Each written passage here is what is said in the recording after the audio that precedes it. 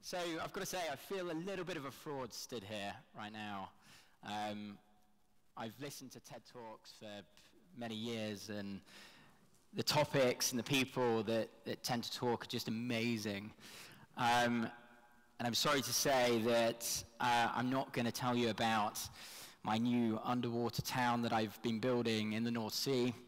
Um, obviously, it's far too cold and dark. Um, and I haven't saved a baby from a burning building. I just run a company, a new company, whose greatest achievement so far is to raise millions of pounds from venture capitalists, to spend on lovely new offices for the dogs, obviously, on great technology, and over a hundred amazing people, all to try and all to try and change the way that we rent forever. Now, if you asked a lot of my friends what they learned from me over the past few years, they would say, Richard, he really knows where to get a good drink from. Look, I think, well, I hope I've got something to add here. But th there's a number of people from my childhood that would see me standing here saying, well, he's a last minute replacement, or it's just a really rubbish event. You see, from a very early age, at school when I was younger, I struggled. And people used to talk about me like, you know, there goes Richard, bless him. He's uh, in his own little world, loves a trier. But like this balloon here, I was best left to sit at the bottom of the class and give up on. I will save that balloon.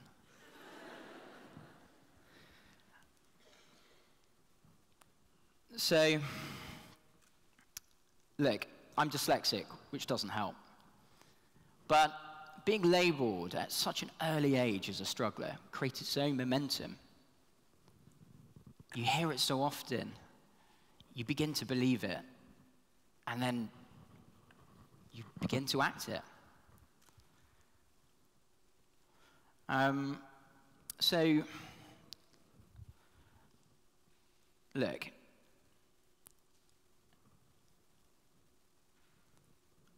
I think the, the thing that I'm trying to say is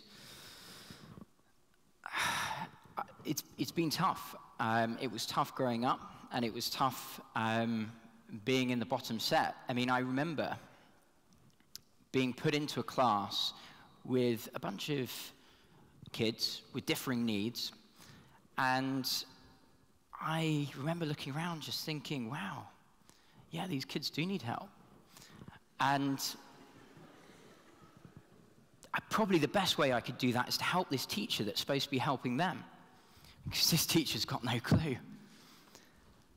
Um, and look, I never felt like I was bottom set material. I never felt like I was a struggler, but it began to rub off. And when a system is so intent on taking your confidence away, it's really hard. So it didn't even it didn't just affect me though. It started to affect my family. When I think back to my more kind of early entrepreneurial days, I remember people in my family being like, how's the, how's the latest scam going? Now, it's because, look, they were really supportive. It wasn't that they meant any harm at all, quite the opposite. But when it came to it and trying to give advice, the easiest thing was just to make a joke about it. So, but look, things start to change. I'm not here looking for pity, really. There's not a bucket here. But if there was, you can put some money in. I might leave my shoe. Um, look, I'm not here looking for pity. Things did change thanks to the incredible generosity of my parents. Um, what money they did have, they put into trying to give me a better education. And um, this is where I got more one-to-one, um, one-to-one help, and uh, and it was and it was it was needed. Um, I began to to thrive. You know, there was some series of highs. One high was I got some GCSEs, actually, but really good for me. I, I, was, I was over the moon.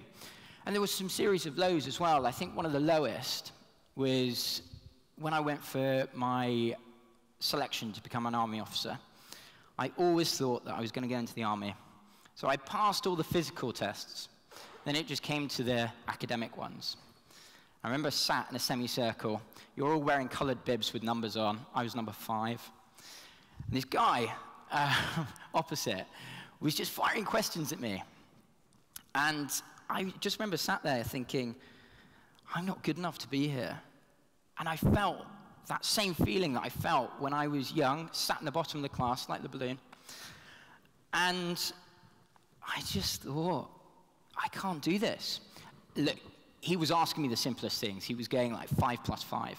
It turned into a bit of a joke. He thought it was a joke because I just, he asked me this, I made 11. Honestly, I just couldn't, my, the ability to answer straightforward questions had gone out the window. And I was panicking. I was just panicking.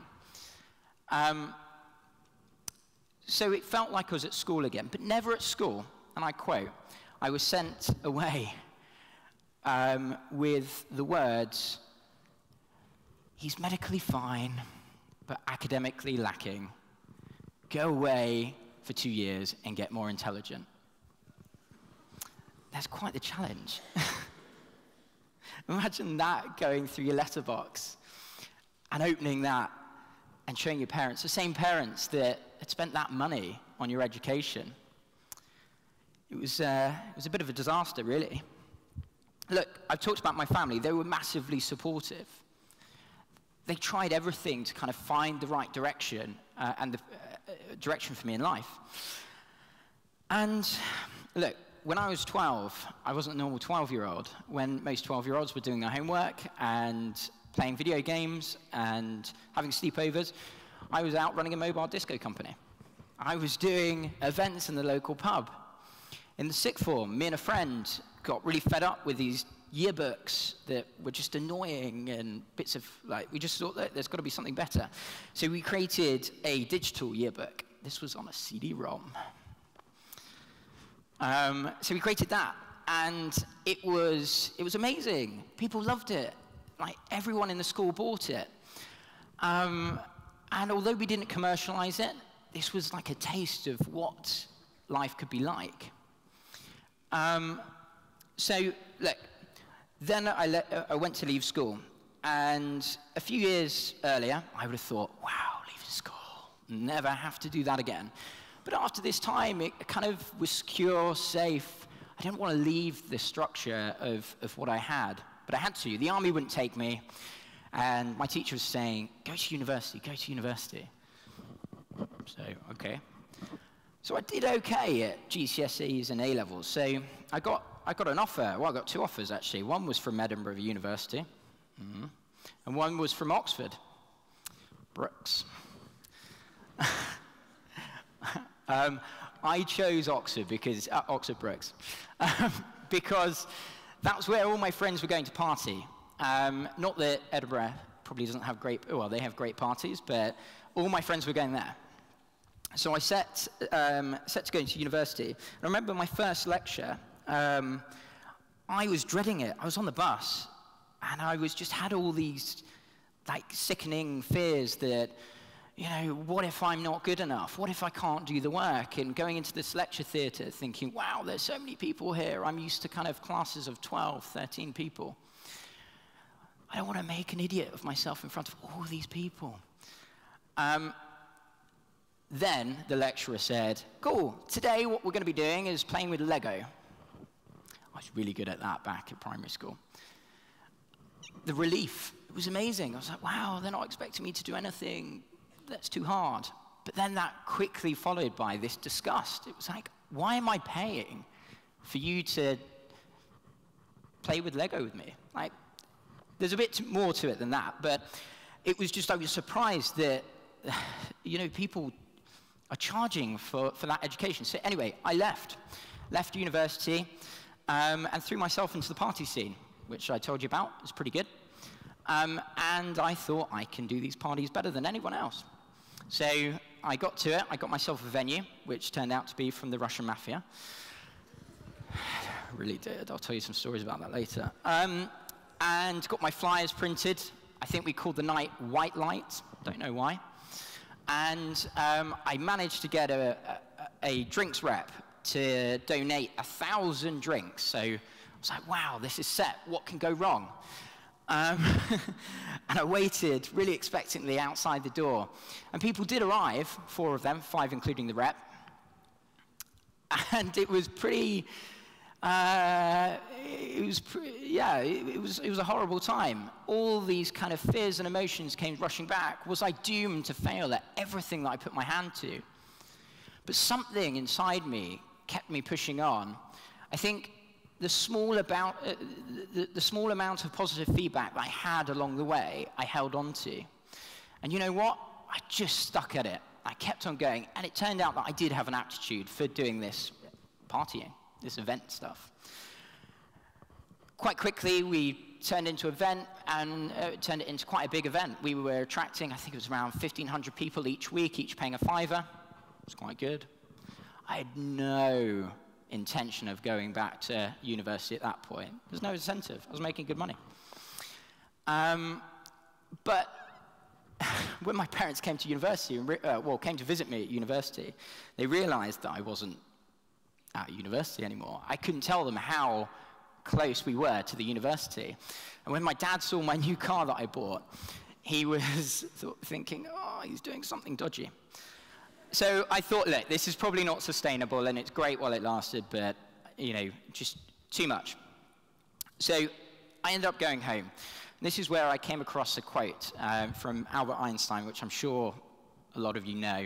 If you judge a fish by its ability to climb a tree, that fish will spend its whole life feeling it's stupid. So, with that in my mind, I carried on. And look, what I'm doing here is I'm hopefully wanting to leave you with some lessons that I learned from the bottom of the class. And the one main one is be really selective of who you listen to. You know, there are voices around you that are positive, and just remember to hold on to them. And you have to do everything to fight against all your insecurities to really make sure that you listen to them and you build upon them. Now, after being at home for a little bit, I kind of threw myself into the rat race and started working in and around property. And um, at this point, I started to see that businesses could operate better and had better ideas for, for the way that business should be run. And th this didn't really endear me to my, um, my bosses, especially at Foxtons. They really hated me. Um, so I left and then I joined another company. And this company was basically a flat sharing company. And I started getting twitchy quite quickly because I didn't see that as the big picture. I saw the actual cool idea was, look, there's lots of people out there, they can't afford to buy, they don't have the deposit, they can't get on the, the ladder. So wouldn't it be cool if those people that can't afford to buy a whole house, if they could club together and put their money and own a section of a house and get onto the property ladder and get the benefits that way? My boss just didn't see that. He just said, no, we're going to carry on doing this because it was a lifestyle business to him. He didn't have any vision. And that's what occurred to me is one of the really strong things I had was, was vision. I had three main attribute, attributes that meant that I could officially be a struggler, but succeed. So, look, after then, I had an idea for a business, and it was a really simple idea based around my own experiences on the premise that when you buy something on Amazon and eBay, isn't it easy? When you rent a property, isn't it the hardest thing you do, like, ever? It's really hard. It's so different from one click. So the thought that we could build a company that would just make renting as easy as buying something on Amazon and eBay was amazing. It would help so many people, and then we could do so many things after that. So going back to um, going back to the company uh, that I was at at the time when I was coming up with this idea, I remember going to my boss and I said, Look, I've got this idea for this business called Goodlord. And his feedback put me back in that class really, really quickly. And he just said, Stop, don't do it. Like, you have no idea what you're doing. And that was, that was, that was another moment where I could have just given up and I could have just said, oh, you know what? But look, I built up my second kind of big quality, and that was a really thick skin. So I had the vision, I had the perseverance, and I mean, to be honest, that guy had a bit of a point because we, we pitched seven people for investment, and we got seven rejections, one after the other. So I kind of know what Robert the Bruce felt like. Um, but look, after a while, we, we, we, got, we got someone who believed in our idea and our vision. His name was John. John, really nice guy. He invested £32,500 in us. It was more money than I ever saw in a bank account, so I quickly ran down to the cash machine and took a picture. But anyway, uh, good news. John sold his share in the business quite recently, and he sold it for, well, two years on, a million pounds. So John's done quite well. More and more investment came um, from, from people in Mayfair to Israel to Silicon Valley. More and more people shared in our vision for what we wanted to create. And it was touching, it was, it was great. And we started to build this company. So I suppose but I, I suppose the kind of, but I suppose uh, a big point I want to leave you with is even though all this has happened, you still don't lose that label that you've got. You still don't lose those insecurities. I've still got them. Um, so you don't lose the label, you don't lose the fear. Because I, will tell you a, a story um, about another uh, other investor uh, there was um, a big investor, it's quite a big brand name, and we started talking to them for, um, for some investment. Uh, we, met them in their Mayfair offices, and uh, it looked promising. They flew us out um, to Ireland. We had some more meetings, and then they passed. That was fine. But then a few months later, they picked up the phone and said, Look, we're interested again. Yeah, come on. Um, so we did that whole dance again, but then a rejection came. And you know what? I could just go, I don't care. I could just send them a letter listing the millions that all their, invest, uh, all their competitors have invested in us. But still at night, I still, before I go to bed, I think, oh, how can I get these guys to invest in us? How can I get these guys to notice us? How can I do our unfi unfinished business? And how can I get their approval? Because, you know, being bottom of the class does leave its mark. So I'll, I'll close by saying, look, if you're the bottom of the class, like this little balloon, like me, then just remember you have got loads of attributes and great strengths that actually probably don't get realized in the, um, um, in the structure of education. And what you know will benefit you massively outside in the real world.